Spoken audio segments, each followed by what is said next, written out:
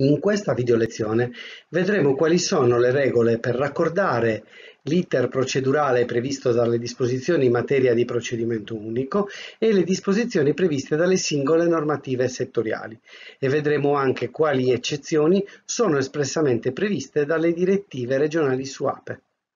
Il principio generale stabilito dalla legge regionale 24 del 2016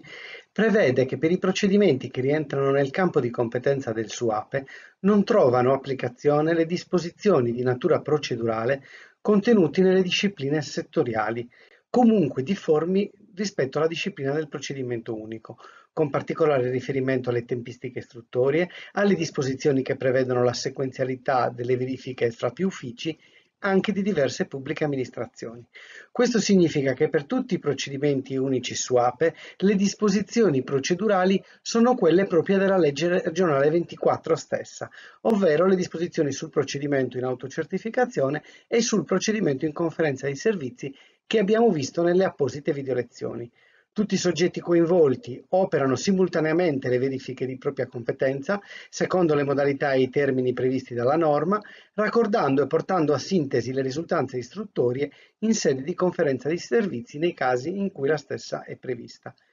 Le eccezioni a questo principio generale che prevedono quindi l'inapplicabilità delle disposizioni procedurali delle, delle, discipline settoriali sono puntualmente indicate nell'articolo 18 delle, delle, direttive regionali su APE. Vediamo adesso di eh, esaminare quelle più importanti. L'eccezione più frequente è certamente quella relativa all'autorizzazione paesaggistica. In particolare, in caso di autorizzazione paesaggistica ordinaria di cui all'articolo 146 del Codice Urbani, quindi non parliamo di autorizzazione paesaggistica semplificata ma solo di quella ordinaria, i termini della conferenza di servizi asincrona sono fissati in 55 giorni consecutivi, invece che 30 che è il termine ordinario. L'ufficio regionale o delegato competente in materia di tutela del paesaggio trasmette la relazione istruttoria entro 40 giorni consecutivi dalla ricezione della documentazione da parte del SUAPE. Questo perché la stessa, eh, st la stessa, norma settoriale prevede una sequenza in cui prima eh, l'ufficio competente eh, redige la relazione istruttoria, quindi la soprintendenza effettua le proprie verifiche sulla base della stessa relazione istruttoria. Il termine quindi per redigere questa relazione è di 40 giorni, fermo restando il fatto che la conferenza di servizi complessivamente ha una durata indistinta di 55 giorni. Quando questa relazione non dovesse essere redatta e trasmessa alla soprintendenza nei termini, quindi nei 40 giorni, prima della conclusione della fase asincrona, prima dei 55 giorni, la soprintendenza può richiedere al SUAPE di procedere alla convocazione della conferenza di servizi in modalità sincrona, fissando la seduta di regola al trentesimo giorno successivo alla scadenza della fase asincrona. Come vedete questa è una ulteriore fattispecie che la norma non prevede di convocazione della seduta in modalità sincrona dopo la fase asincrona ed è legata al fatto che la soprintendenza lo richieda espressamente perché la relazione non è stata redatta nei termini da parte dell'ufficio tutela del paesaggio. Per tutto quanto non espressamente precisato e per l'autorizzazione paesaggistica semplificata si applicano le regole normali della conferenza di servizi in ambito SUAPE, previste dagli articoli 11 e 12 delle direttive regionali. Restando sempre nell'ambito di tutela del codice urbani del decreto legislativo 42 del 2004, per tutte le autorizzazioni per il vincolo archeologico e monumentale, le direttive prevedono che in caso di interventi incidenti sul sottosuolo in aree soggette a vincolo archeologico o comunque di interventi direttamente connessi con il bene vincolato, l'approvazione della eh, soprintendenza, quindi l'autorizzazione di quell'articolo 21 del codice urbani deve essere acquisita al di fuori del procedimento unico su APE, secondo le modalità di raccordo di cui all'articolo 17. Quindi può essere acquisita anche parallelamente al procedimento unico su APE, ma comunque esternamente allo stesso. Il SUAPE invia comunque la pratica alla soprintendenza competente al fine di verificare che il progetto che viene trasmesso al SUAPE sia effettivamente conforme e corrisponda con quello che la soprintendenza ha autorizzato in separata sede.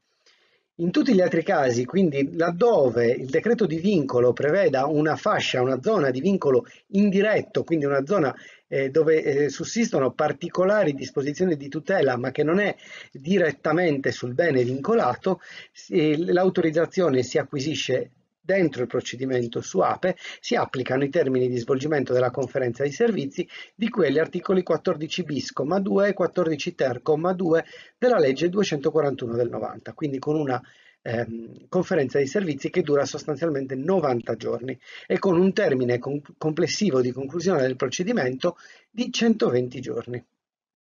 Per quanto riguarda i casi in cui i regolamenti comunitari in materia igienico-sanitaria prevedono la necessità di un riconoscimento espresso, come nel caso di trasformazioni di prodotti alimentari, soprattutto nel settore dell'alimentazione animale, ma anche al di fuori di questo, 852, 853 del 2004, così come riconoscimenti comunitari in materia di mangimi, di trattamento dei sottoprodotti di origine animale e simili, eh, il SUAPE svolge una conferenza conferenza di servizi normale. Tuttavia, al termine della conferenza, il SUAP ne comunica l'esito della fase asincrona o trasmette il verbale della seduta in modalità sincrona all'assessorato regionale della sanità, affinché questo provveda entro i successivi dieci giorni alla concessione del riconoscimento comunitario e all'aggiornamento degli elenchi, sempre sui sistemi informatici europei, degli stabilimenti riconosciuti. L'assessorato quindi trasmette la determinazione di riconoscimento al SUAPE,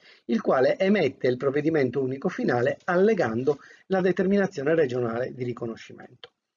Per quanto riguarda le procedure ad evidenza pubblica, le direttive precisano che la fase ad evidenza pubblica, e quindi la selezione tra più candidati, precede l'avvio del procedimento unico SUAPE e viene svolta esternamente rispetto a tutte le regole sul procedimento unico. Gli assegnatari provvedono, a seguito della comunicazione di, di, di aggiudicazione, laddove quest'ultima non sia di per sé sufficiente a consentire l'effettuazione dell'intervento o l'avvio dell'attività, a inoltrare la dichiarazione autocertificativa, quindi la pratica al SUAPE, secondo le modalità ordinarie previste dalla legge. Ancora per quanto riguarda le grandi strutture di vendita, le direttive precisano che il procedimento si articola in una doppia conferenza di servizi. La prima conferenza di servizi ha natura istruttoria e si svolge secondo le comuni regole del, del procedimento SUAPE, eh, terminata la quale viene convocata una seconda conferenza di servizi in modalità sincrona secondo le speciali disposizioni contenute nella legge regionale 5 del 2006. La, il rilascio del provvedimento unico autorizzatorio avviene ad esito di questa seconda conferenza di servizi.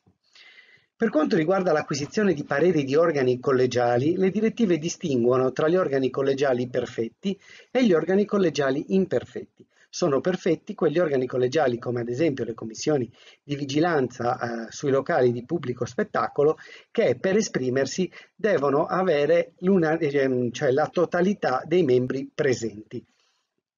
Gli organi collegiali imperfetti sono quelli invece come ad esempio il Consiglio Comunale, la Giunta, che si esprimono a maggioranza anche se non intervengono tutti i membri componenti. Dove è prevista l'acquisizione di pareri di organismi collegiali imperfetti, gli stessi si esprimono nei termini previsti per la conferenza asincrona, mentre in caso di conferenza sincrona partecipano alla stessa per il tramite del rappresentante unico previsto dalla legge 241 del 90.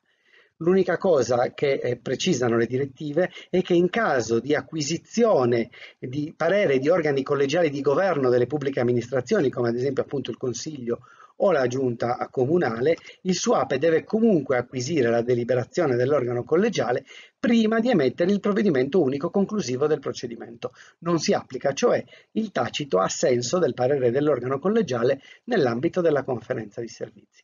Per quanto riguarda invece gli organi collegiali perfetti, come abbiamo visto nell'esempio eh, la commissione di vigilanza, che è sicuramente il collegio perfetto che interviene più spesso nei procedimenti su APE, eh, questi non prendono parte alla conferenza di servizi ed esprimono autonomamente il proprio parere. Il SUAPE è quindi tenuto ad attendere eh, l'espressione del parere da parte dell'organo collegiale perfetto prima di concludere il procedimento. Per quanto riguarda ancora la concessione per l'utilizzo e l'occupazione di suolo pubblico, le direttive precisano che quando eh, la concessione per l'occupazione del suolo pubblico è l'unico titolo abilitativo necessario per effettuare un determinato intervento, oppure quando si tratta di occupazione temporanea per un periodo inferiore a 15 giorni consecutivi, l'interessato ha facoltà di richiedere la concessione direttamente all'ufficio competente senza passare per il SUAPE, rimanendo comunque l'opzione di richiederla per il tramite del SUAPE. Per quanto riguarda le manomissioni di spazi pubblici, tagli stradali e simili, esse rientrano nel procedimento unico solo se accessorie a un intervento edilizio principale. Quindi nel caso ad esempio in cui si debba costruire un immobile ed effettuare dei tagli stradali per allacciare questo stesso immobile ai servizi pubblici, l'autorizzazione per il taglio stradale può essere richiesta nello stesso procedimento unico SUAPE. Quando invece eh, l'oggetto fosse esclusivamente il taglio stradale, come in tutti i casi di tagli per manutenzione appunto di servizi e di sottoservizi, questi vanno richiesti direttamente all'ufficio competente in materia. Eh, per quanto riguarda la proroga dei termini di validità del titolo abilitativo si segue la normativa settoriale, in maniera del tutto analoga a quanto accade con gli accertamenti di conformità, per cui il SUAP eh, trasmette la richiesta di proroga dei termini di validità del titolo abilitativo all'ufficio competente che autonomamente si esprimerà concedendo o negando la proroga richiesta. Per quanto riguarda le manifestazioni o eventi sportivi o culturali di pubblico spettacolo, le direttive precisano che la competenza del SUAPE si estende solo a quelli connessi ad attività produttive di beni e di servizi. Se per tutte invece le manifestazioni o eventi che non sono connessi con attività produttive non si segue il procedimento unico SUAPE e l'istanza deve essere inoltrata direttamente all'ente competente. Per quanto riguarda invece le strutture sanitarie di media o alta complessità o per l'accreditamento istituzionale delle stesse strutture sanitarie, la conferenza di servizi ordinariamente ha una durata di 90 giorni e il termine complessivo di conclusione del procedimento è fissato in 120 giorni. Per ragioni di sintesi non è possibile in questa sede fare l'elenco completo di tutte le eccezioni che sono previste dall'articolo 18 delle direttive. In questa slide troviamo un elenco di altre eccezioni che sono espressamente citate nell'articolo 18, come il permesso di costruire convenzionato, alcune tipologie di interventi in area perimetrata dal PAI, la deroga alle norme in materia di prevenzione incendi, i casi di adozione di nuovi strumenti urbanistici o di norme nel corso del procedimento, i trasporti pubblici non di linea, alcune autorizzazioni previste dalle prescrizioni regionali antincendio, produzione, emissione in commercio, importazione e distribuzione di prodotti cosmetici, impianti soggetti a rischio di incidenti rilevanti e il caso delle bonifiche ambientali. Le direttive SUAPE dedicano un intero articolo al raccordo con la disciplina dell'AUA dell'autorizzazione unica ambientale precisando che la stessa si applica solo alle imprese, questo perché eh, nella normativa regionale sarda il campo di competenza del SUAPE è esteso anche ai privati nel caso di interventi edilizi, ma l'AUA è un'autorizzazione unica che si applica espressamente alle imprese. Inoltre prevede che l'autorità competente è il SUAPE stesso e non quindi la provincia, in tutti i casi in cui i titoli abilitativi ambientali che confluiscono nell'AUA stessa siano tutti di competenza comunale e quindi sostanzialmente parliamo degli scarichi recapitanti in pubblica fognatura e dell'impatto acustico. Quando c'è anche solo un titolo abilitativo ambientale di competenza della provincia, l'AUA rientra nella competenza della provincia per l'appunto. In caso di autorizzazione alle emissioni in atmosfera di cui all'articolo 269 del Codice dell'Ambiente, si applicano i termini della legge 241 del 90 e il SUAPE deve attendere il provvedimento in quanto è un provvedimento espresso previsto dalla normativa europea. La conferenza dei servizi in questi casi dura quindi 90 giorni.